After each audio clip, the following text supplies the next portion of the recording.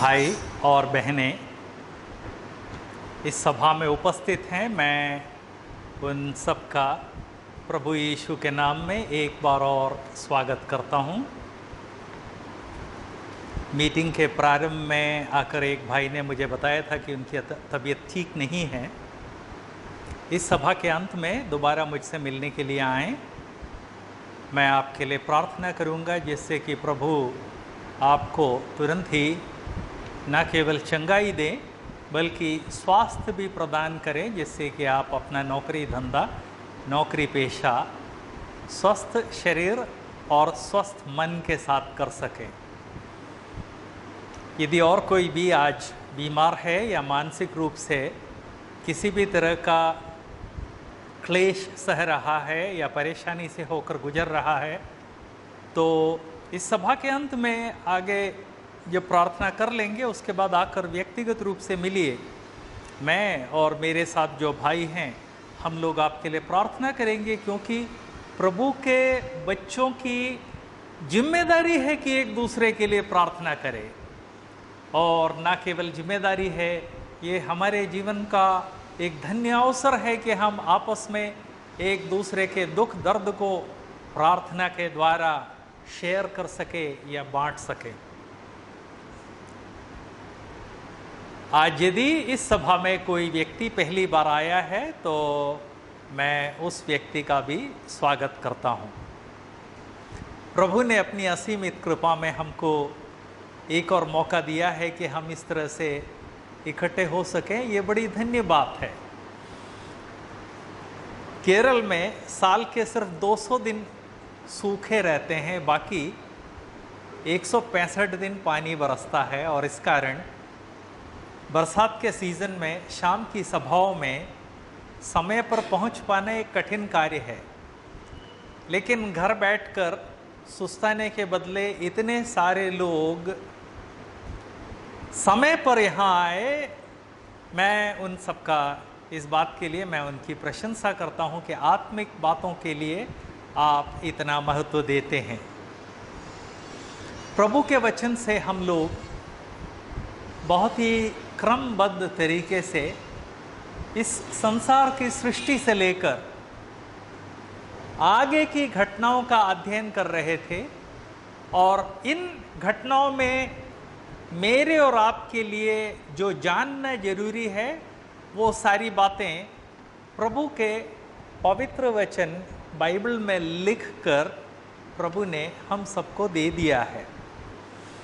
ना केवल लिख कर दे दिया है, बल्कि प्रभु ने अपने बच्चों को जो ज़िम्मेदारी दी थी कि जाओ और संसार में हर व्यक्ति को ये संदेश सुनाओ या हर व्यक्ति तक ये संदेश पहुंचाओ तो हज़ारों लोगों ने, कईयों ने तो अपना पूरा जीवन समर्पित करके इस महान ग्रंथ का, परमेश्वर के वचन का अध्यय का अनुवाद सारी दुनिया की सब महत्वपूर्ण भाषाओं में किया है। आज मैं आपसे बात कर रहा हूँ उस समय। इस प्रदेश की भाषा मलयालम है। मलयालम में कई लोग बाइबल लेकर चर्च आते हैं। मैं सामने हिंदी बाइबल खोले हुए हूँ। उड़िया भाषा में। बांग्ला भाषा में। उसके अलावा अंग्रेज़ी में। इस तरह से, ओ, गजब हो गया। आसाम की भाषा में। और प्रभु ने मदद की तो आने वाले दिनों में अपने हिंदुस्तान की हर भाषा की बाइबल हम यहाँ लाकर आपको उपलब्ध करवाएँगे, जिससे कि आप में से हर व्यक्ति अपनी अपनी मातृभाषा में परमेश्वर के वचन को पढ़ सके। लेकिन मैं ये याद दिलाना चाहता हूँ कि परमेश्वर के वचन को, ईश्वर के वचन को इब्रानी भाषा से और यूनानी भाषा से अनुवाद करके मेरे और आप तक पहुँचाने के लिए हज़ारों लोगों ने इवन अपना संपूर्ण जीवन बलिदान कर दिया था। क्यों? इसलिए कि उनके जीवन में जो खुशी मिली है, वो लोग चाहते थे कि वही खुशी सारी दुनिया में हर व्यक्ति को मिले। और प्रभु ने यही आज्ञा अपने अनुयायियों को दी है कि यदि तुम वास्तव में मेरे अनुयायी हो और यदि मुझसे प्रेम करते हो तो जाओ और ये संदेश सारी दुनिया में हर एक को उपलब्ध करवाओ। इस कारण आज शाम को फिर से यह सभा इस तरह से एकत्रित की गई है और जो लोग आए हैं, मैं एक बार और उन सब का अभिनंदन करता हूँ। प्रभु के वचन से पिछले दो तीन हफ्तों से हम एक बहुत ही महान व्यक्ति के जीवन का अध्ययन कर रहे थे और पिछले कई महीनों के अध्ययन में हमने किसी भी व्यक्ति को इतना समय नहीं दिया है। ज़्यादा से ज़्यादा दो हफ़्ते हमने एक व्यक्ति के जीवन का अध्ययन किया, लेकिन मूसा नाम का वो जो महान नायक था, उसके जीवन के अध्ययन को चालू किए हुए कई हफ़्ते हो गए और अभी तक समाप्त नहीं हुआ है। और मैं आपको यकीन दिलाना चाहता हूँ कि वो इतना महान नायक था कि उस महान नायक के जीवन का अध्ययन अभी कई हफ्तों तक समाप्त नहीं होगा, बल्कि हर हफ़्ते उस महान व्यक्ति के जीवन में कुछ ना कुछ हम देखेंगे। लेकिन उस महान नायक के बारे में आगे कुछ बातें देखने से पहले पुनः दोबारा मैं एक बात आपको याद दिलाना चाहता हूँ कि प्रभु ने एक ऐसे व्यक्ति को जो देखने में तो आकर्षक था, लेकिन जिसके मन में कई तरह की गलत फहमियाँ थीं और जो बोलने में हकलाता था, ऐसे व्यक्ति को लेकर उसको इतने महान नायक के रूप में बदल दिया, जो मुझे और आपको याद दिलाता है कि यदि प्रभु ने मुझे और आपको बुलाया है तो मेरे और आपके जीवन की कोई भी कमी या घटी प्रभु के लोगों की अगुवाई करने में और प्रभु की सेवा करने में किसी तरह की रुकावट नहीं है। मैंने ये बात इसलिए कही कि कई बार हम सोच लेते हैं कि, हे प्रभु, मैं ज़्यादा पढ़ा लिखा नहीं हूँ, मैं आपके लिए क्या कर सकता हूँ?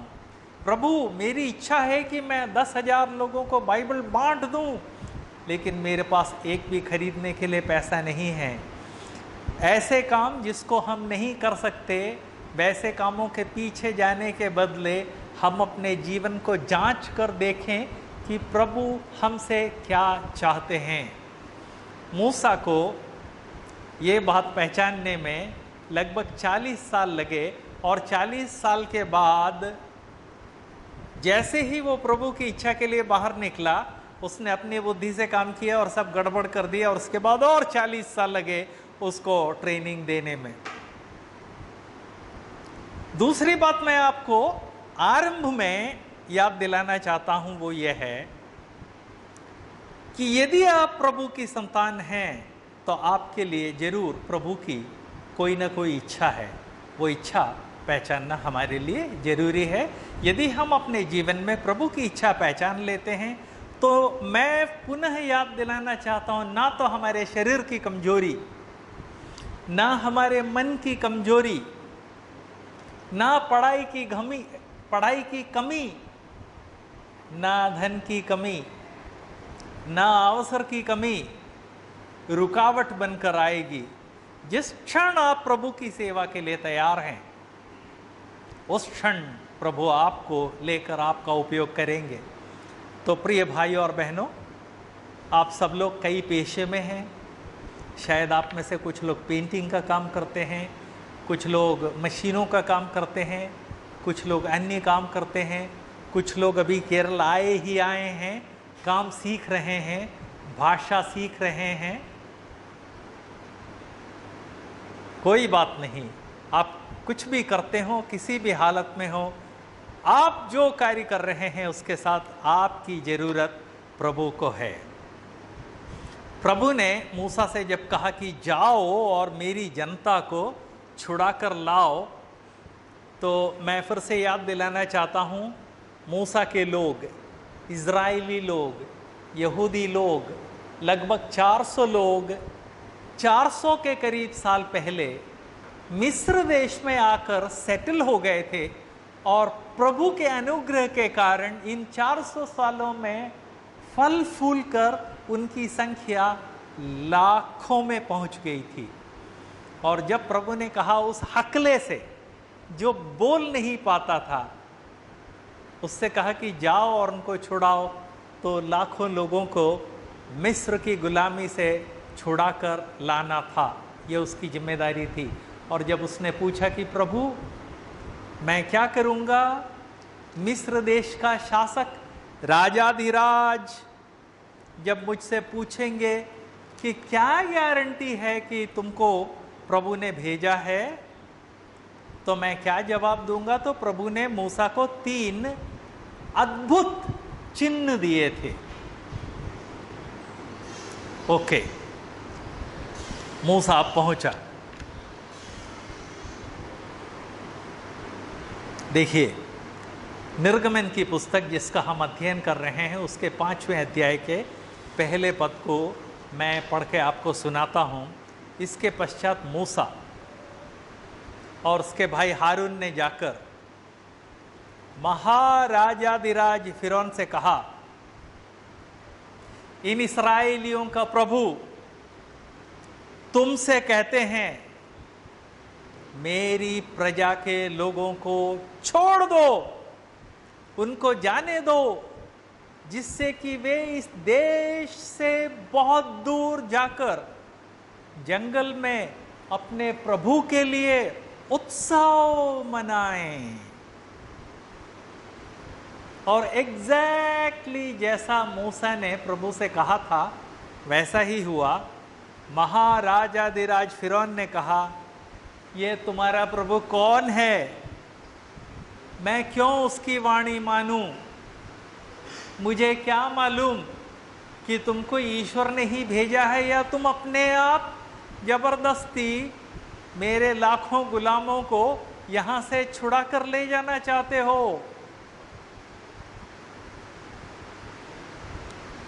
मूसा चाहता तो तुरंत उसका जवाब दे सकता था, लेकिन कुछ तो कारण था जिससे मूसा ने एकदम से जवाब नहीं दिया और प्रभु ने उसको जो अद्भुत कार्य करने को बोला था, वो नहीं किया।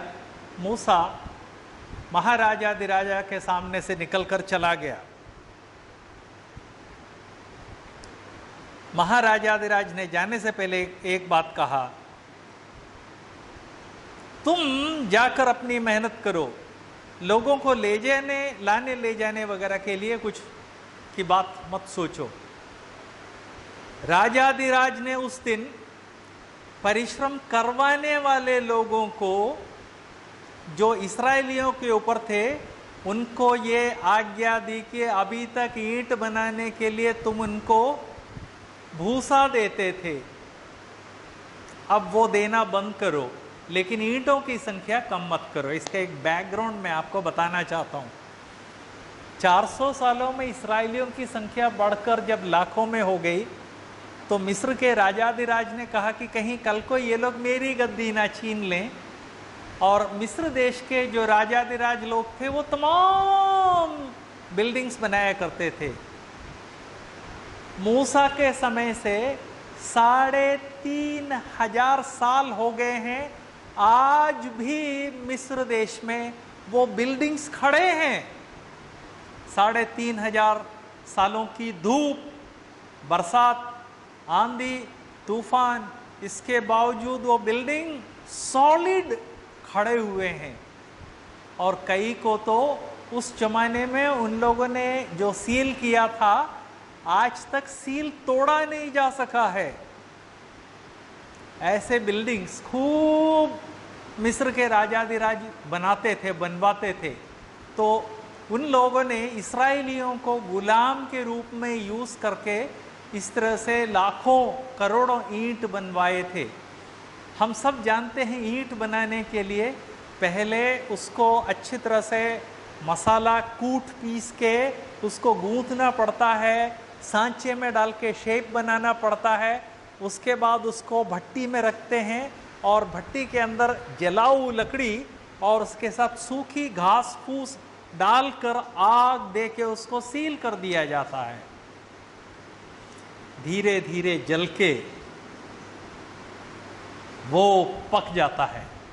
लेकिन मिस्र में ऐसी भयंकर धूप पड़ती थी कि भट्टी में पकाने की ज़रूरत नहीं थी।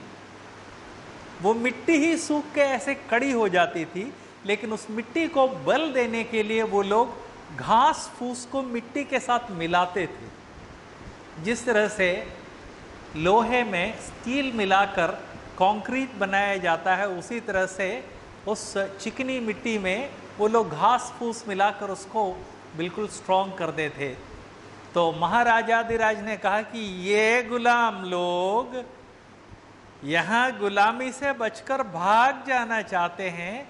फ्री फंड के गुलाम हमको कहाँ से मिलेंगे? और वो भी दो या चार गुलाम, थोड़ी लाखों गुलाम है फ्री फंड के।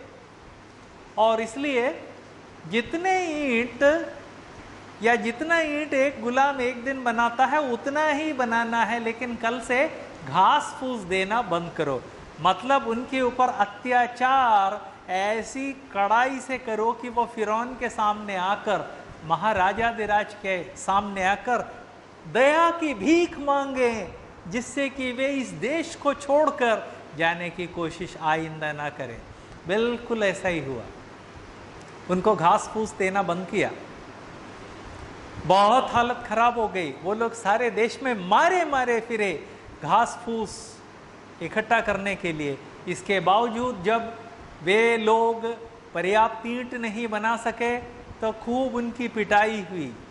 उन लोगों ने फिरौन के पास, महाराजाधिराज के पास जाकर याचना की कि, हे प्रभु, हम पर दया कीजिए। अब तो हमको घास फूस नहीं दिया जाता है, लेकिन ईंटों की संख्या उतनी ही बनानी पड़ती है। महाराजा महाराजाधिराज ने कहा, तुम सब काम चोर, निकम्मे लोग, काम नहीं करना चाहते।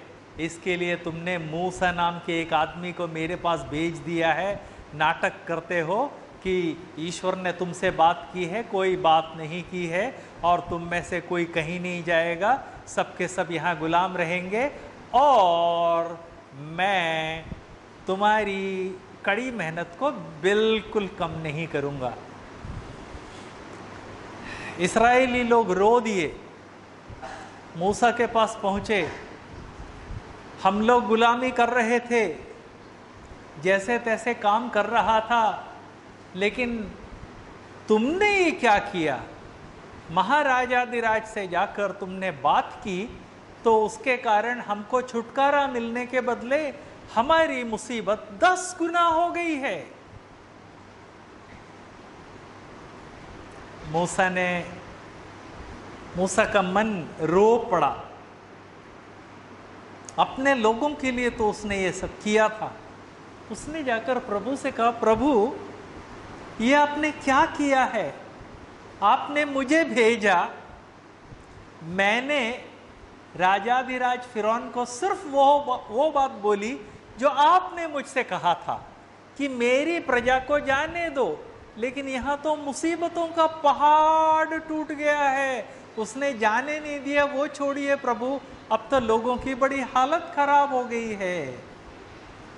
प्रभु ने कहा कि देखो मैं निश्चित रूप से तुम लग, सब लोगों को छुड़ाऊँगा। प्रभु ने कहा कि देखो, ये मिस्र देश का राजाधिराज जो घमंडी है, मैं उसके घमंड को चूर चूर कर दूँगा। लेकिन थोड़ा सा वक्त लगेगा, थोड़ा सा टाइम लगेगा, और इसलिए अब की बार तुम जाओ और जैसा मैं तुमको आज्ञा देता हूँ, वैसा करो। ठीक है? क्या हुआ? मैं आपको पढ़ के सुनाता हूँ।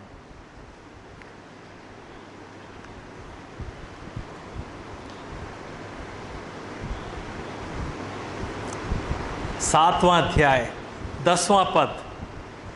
तब मूसा और उसका भाई हारून, उन्होंने राजाधिराज फिरौन के पास जाकर प्रभु की आज्ञा के अनुसार किया और हारून ने अपनी लाठी फिरौन और उसके कर्मचारियों के सामने डाल दी। मैं याद दिलाना चाहता हूँ, फिरौन का जो राजाधिराज था, वो महल में जब किसी से मुलाकात करता था तो पचास सौ दरबारी लोग, मंत्री लोग, सेनापति, अन्य नायक मौजूद रहते थे। तो मिस्र देश के सबसे बड़े नायकों और राजाधिराज के सामने हारून ने वो लंबी सी लाठी ज़मीन पर डाल दी और क्या हुआ? तब वह अजगर बन गई। प्रभु ने पहले मूसा को यही बात बताई थी, तब तो वो सांप बना था और इस बार जब उसको महाराजाधिराज के सामने डाला तो वो तो बड़ा अजगर बन गया। पता नहीं आप में से कितने लोगों ने अजगर को देखा है, लेकिन सच कहना चाहता हूँ भाइयों, यदि एक अजगर यहाँ इस हॉल में बीच में प्रत्यक्ष हो जाए तो सच कहता हूँ कि आप में से कोई इस हॉल में नहीं रहेगा, क्योंकि वो सांप के कंपैरिजन में काफ़ी बड़ा और मोटा होता है। जहरीला नहीं होता है, लेकिन उसको देख के, देखने वाले की हालत खराब हो जाती है। मिस्र का राजा धीराज कोई औसत, आम ऑर्डिनरी आदमी नहीं था। अरे, उसने कहा, अजगर, लाठी डाल के अजगर बना दे, तुम क्या तमाशा दिखा रहे हो? उसने अपने जादूगरों को बुलाया, बाजीगरों को बुलाया, बोला, दिखाओ इनको कि ये कोई बड़ा, कोई बड़ी बात नहीं है। तो उन्होंने भी अपनी अपनी लाठियाँ डाली, सब अजगर बन गए। तो फिर मनी मन उस दिन हंसा कि, बच्चू, तुम अपने लोगों को ले जाने के लिए आए थे और तुम कहते हो कि तुमको प्रभु ने ये लाठी ज़मीन पर डालकर अजगर बनाने को बोला, मेरे दो कौड़ी के जो इस दरबार में जो जादूगर हैं, उन लोगों ने वही करके दिखाया। कौन सा प्रभु? कहाँ का प्रभु? फिर मनी मन सोच रहा था और हंस रहा था। तब एक और बात घट गई। मूसा के अजगर ने बाकी जितने वहाँ अजगर थे, सबको निगल लिया। और उसके बाद हारून ने हाथ बढ़ा के उसको उठा लिया तो फिर लाठी बन गई। तब यह बात स्पष्ट हो गई कि फिरौन के दो कौड़ी के जो जादूगर थे, वो लोग अपने जादू से ऐसा कुछ कर सकते थे, लेकिन उनका अजगर प्रभु की तरफ़ से नहीं आया था, इसलिए उनके जितने अजगर थे, उनको इसने निगल लिया। लेकिन मिस्र देश का शाहनशाह कोई ऑर्डिनरी आदमी नहीं था बड़ा हठी था, उसने कहा कि होगा। बात की होगी प्रभु ने तुमसे, लेकिन मैं नहीं जाने दूँगा। मूसा से प्रभु ने कहा, देखो, मिस्र का शाहनशाह दिल में बहुत हठी है, कठोर है। मैं लेकिन उसके हट को, उसके घमंड को चूर चूर कर दूँगा। और एक दिन वो तुमसे गिड़गिड़ा कर कहेगा ले जाओ अपने लोगों को और जो चाहिए इस देश से लूट कर ले जाओ। लेकिन बाबा, भैया, मेरी ज़िंदगी बख्श दो। लेकिन उस समय के आने में अभी थोड़ी देर है, क्योंकि प्रभु, जब भी कोई कार्य करते हैं तो उसके पीछे प्रभु का अपना भी लक्ष्य है। इसलिए मूसा, तुम मेरे कहे अनुसार फलाना काम करो। ठीक है? उसके अनुसार हम देखते हैं सातवें अध्याय के उन्नीसवें पद से आगे हम देखते हैं। बीसवें पद को मैं पढ़ के सुनाता हूँ। मूसा ने अपनी लाठी को उठाकर फिरौन मतलब महाराजाधिराज और उसके कर्मचारियों के देखते देखते नील नदी के जल पर प्रहार किया। ये नील नदी क्या बला है? मिस्र देश की सबसे बड़ी, सबसे अधिक जल देने वाली उपजाऊ ज़मीन की सृष्टि करने वाली नदी है। जल नीला नहीं था, लेकिन नीलिमा लिए हुए था, इसलिए हिंदी में उसको नील नदी कहते हैं। वैसे उसका नाम कुछ और है। आज भी वो नदी है।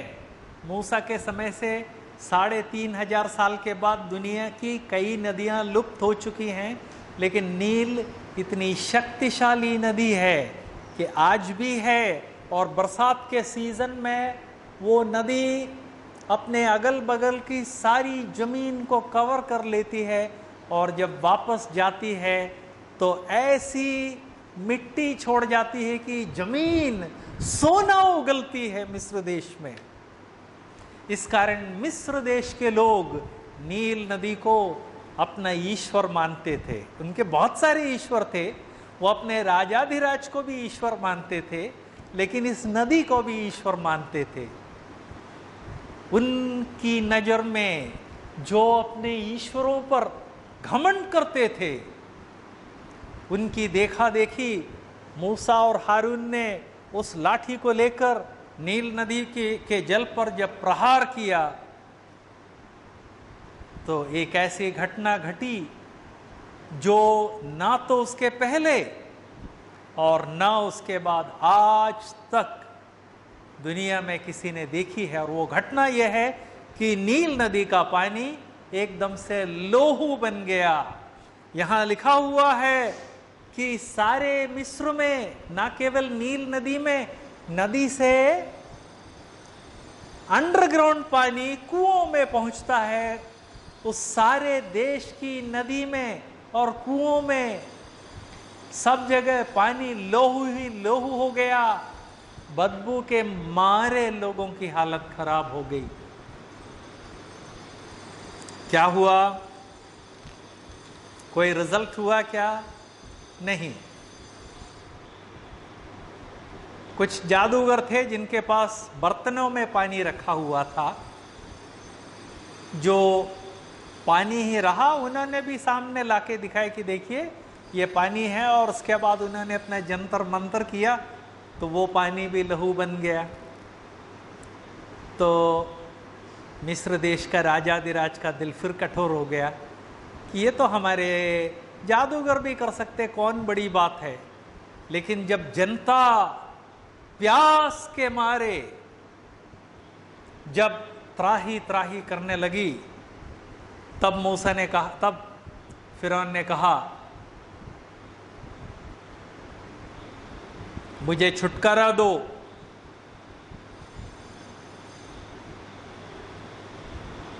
सात दिन इस तरह से बीत गए।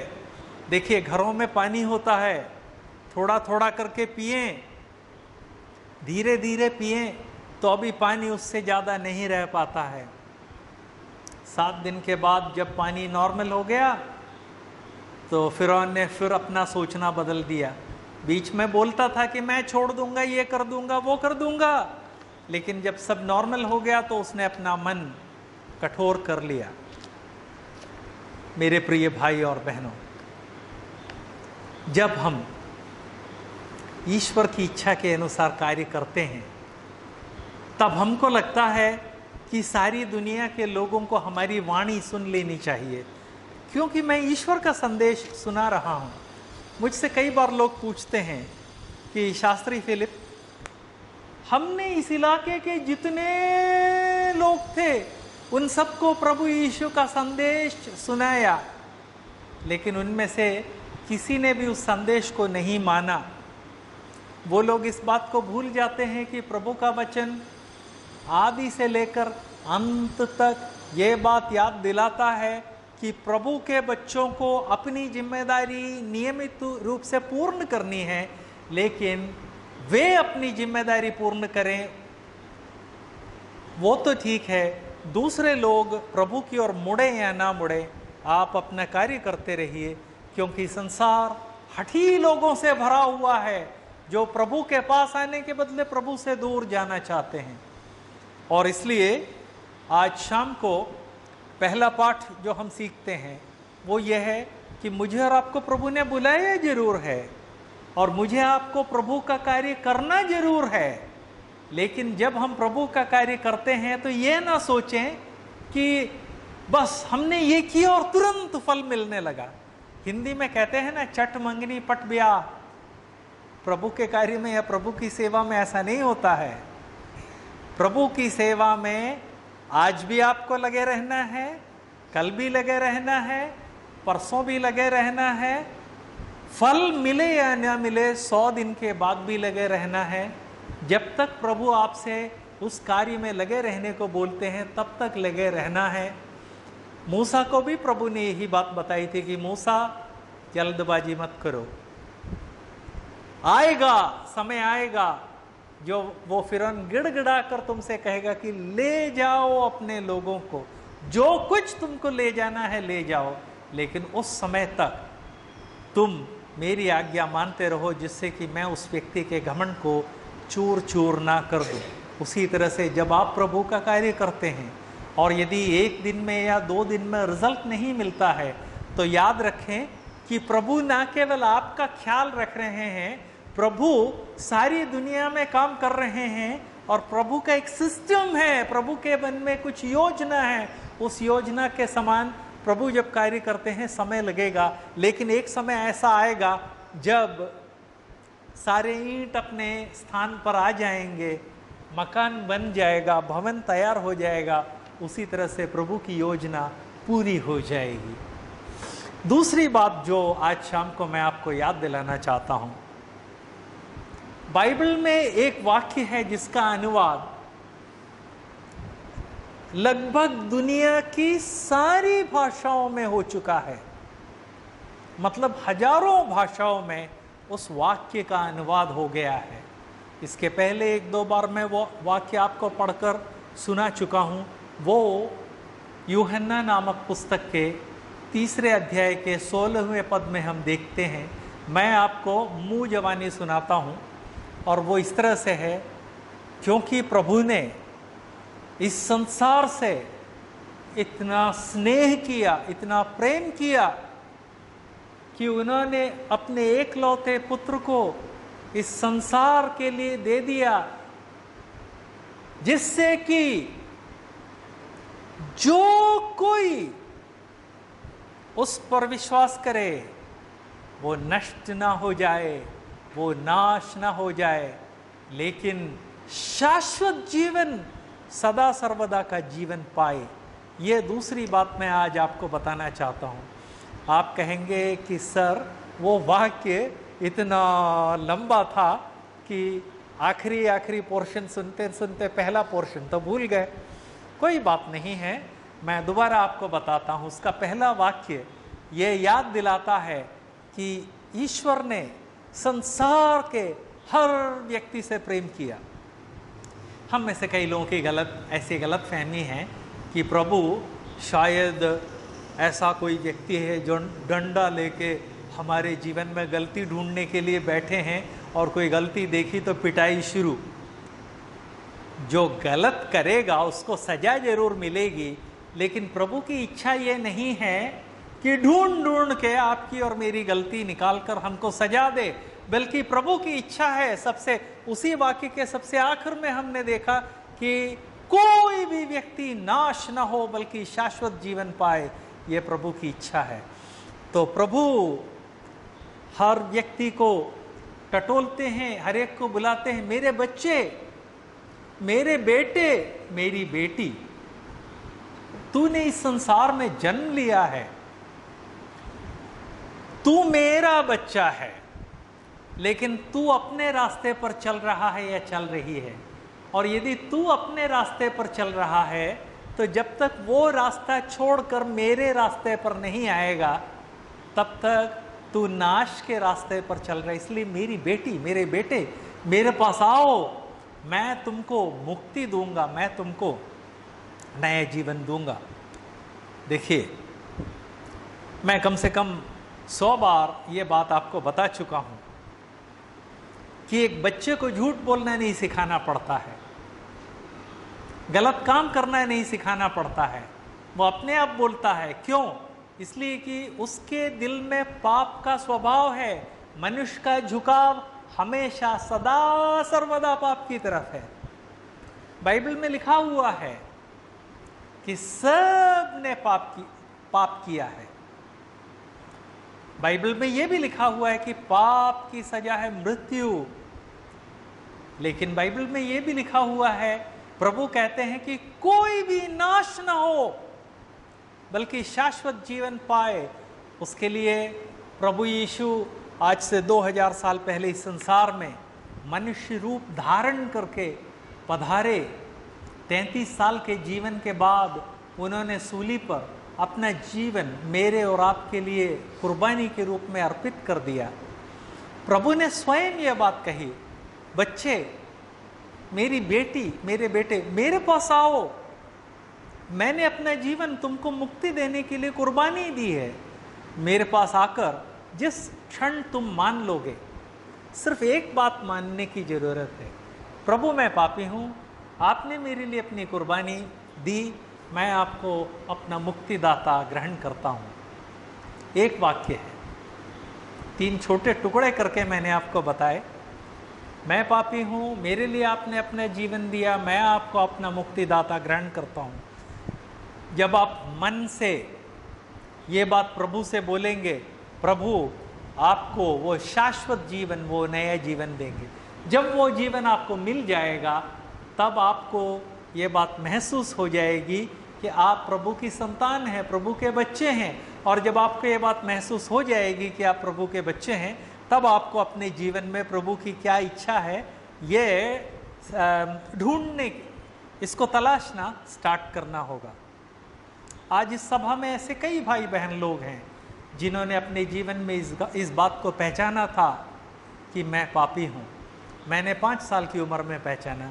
यहाँ कुछ ऐसे हैं जिन्होंने शायद दस साल की उम्र में पहचाना।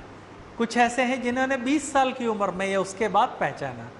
लेकिन इस तरह उन सब की संख्या ले ली जाए तो इस सभा में आज ऐसे बहुत सारे भाई और बहन मौजूद हैं, जो प्रभु यीशु को अपने मुक्तिदाता के रूप में पहचान गए हैं, जिन्होंने ये नया जीवन पाया है और जो चाहते हैं कि इस नए जीवन के बारे में आपको बताया जाए। इस कारण वो लोग आए हैं। एक्चुअली आज इस सभा में ऐसे कई लोग हैं जो धारा प्रवाह हिंदी नहीं बोलते हैं।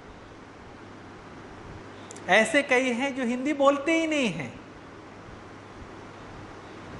इसके बावजूद वो आए हैं। वो दो जवान बच्चे जो हर संडे म्यूज़िकल इंस्ट्रूमेंट्स हमारे लिए बजाते हैं, वो पढ़ते लिखते बच्चे हैं। और केरल में जून में पढ़ाई चालू हो जाती है। अपने इलाके में जुलाई में होती है, यहाँ जून में पढ़ाई चालू हो जाती है। ये पढ़ते लिखते बच्चे संडे को बैठकर पढ़ाई वगैरह करने के बदले यहाँ क्यों आते हैं? इनको कोई पैसा नामा देता है कि कोई कुछ नहीं देता है? फिर क्यों आते हैं? भाषा ना जानने के बावजूद सिर्फ़ एक कारण। आज से कुछ साल पहले इन दोनों बच्चों ने प्रभु को मुक्तिदाता के रूप में ग्रहण किया। उस नए जीवन की खुशी उनके जीवन में आई। एक समय ऐसा आया जब उन्होंने यहाँ पर सुबह जो मंडली जुड़ती है, उसके मुखियों से जाके कहा कि हमने वाकई में प्रभु यीशु को मुक्तिदाता के रूप में ग्रहण किया है और अब हम चाहते हैं कि इस सारी मंडली के सामने हमको जल संस्कार दिया जाए जिसके द्वारा हम सबके सामने डिक्लेयर कर सकें कि हमने मुक्ति पाई है। मैं कैसे जानता हूँ? इसलिए जानता हूँ कि मैं इस सभा का अंग हूँ। सभा के एक मुखिया यहाँ बैठे हुए हैं, सभा के अन्य अंग बैठे हुए हैं। इन सबने इस बात को देखा था। उससे ज़्यादा मैं इसलिए जानता हूँ कि मैंने उनको जल संस्कार दिया था। मैंने उनसे पूछा दोनों से, बेटे, तुमने प्रभु यीशु को मुक्तिदाता के रूप में ग्रहण किया था क्या? उन्होंने बोला हाँ जी हाँ। और ये जल संस्कार तुम अपनी इच्छा से ले रहे हो या दुनिया को दिखाने के लिए? उन्होंने सबके सामने ये गवाही दी कि हम प्रभु यीशु की आज्ञा मानने के लिए ये लेना चाहते हैं। तब मैंने खुद अपने हाथों से यहाँ पास में एक नदी में उन दोनों को जल संस्कार दिया था। इस तरह से यहाँ कई लोग सिर्फ़ इसलिए आए हैं, उनके जीवन में जो शांति और खुशी है, वो शांति और खुशी आपके साथ बांट सके। इसलिए मेरा अनुरोध है, मेरे प्रिय भाइयों, मेरी प्रिय बहनों, यदि आप में से कोई भी व्यक्ति ऐसा है, जिसने प्रभु यीशु के द्वारा ये मुक्ति इस नए जीवन का अनुभव नहीं पाया है, इस सभा के बाद हम में से किसी से बात कीजिए, हम डिटेल में आपको समझाएँगे। आप पूछेंगे, जल संस्कार क्या है? पूछ लीजिए, उसके बारे में भी डिटेल में आपको हम बताएँगे। इसीलिए तो हम यहाँ आए हैं। आज शाम को प्रभु ने हम सबको ये मौका दिया। मैं प्रभु का बहुत शुक्रगुजार हूँ। आज पानी बरस रहा था, आज ज़्यादा लोग आए हैं। इसका मतलब है कि किसी भी हालत में आत्मिक जीवन में अनुग्रह पाना है या आप लोगों के मन में है। प्रभु आपको अनुग्रह दे। इस हॉल को छोड़कर जाने से पहले मैंने जितनी बातें बताई हैं, इनके बारे में भाइयों से, बहनों से पूछकर, डिटेल में जान, जानकर ही यहाँ से जाएँ। हम कोशिश में हैं कि इन विषयों के ऊपर हिंदी में, उड़िया में, बांग्ला में, आसामी भाषा में और अन्य भाषाओं में हम आपको पुस्तकें, पुस्तिकाएँ और बहुत सारी चीज़ें उपलब्ध करवा सकें। हमको थोड़ा सा टाइम दीजिए। समय मैं इसलिए मांग रहा हूँ कि उन प्रदेशों से हज़ारों किलोमीटर दूर यहाँ बैठे ठाले ये चीज़ें एकदम से आ नहीं जाएँगी। हमने कई लोगों से कहा है, आने वाले हफ्तों में ये चीज़ें आने लगेंगी और तब हम ये चीज़ें आपको उपलब्ध करवा देंगे। तो आप अपने स्वयं की भाषा में भी और डिटेल में इन बातों को पढ़ सकेंगे। हाँ ये बात मैं याद दिलाना चाहता हूँ कि हमारे पास पवित्र बाइबल हिंदी भाषा में और बाइबल या नया नियम उड़िया भाष में, बांग्ला भाषा में और आसामी भाषा में है, अंग्रेज़ी में है और कई भाषाओं में हमने ऑर्डर किया है, वो आने ही वाले हैं। अपनी ज़रूरत के अनुसार और इनकी जो बाज़ार की जो कीमत है उससे बहुत कम कीमत पर हम यहाँ उपलब्ध करवा रहे हैं। इनको ले जाकर पढ़ना ना भूलें। प्रभु, आप में से हरेक की मदद करे, आप में से हरेक को अनुग्रह दें। आपने यहाँ आकर आत्मिक जीवन में अनुग्रह पाने की कोशिश की है। प्रभु, अपना सर्वोत्तम आप सबको दे। जय मसीह की।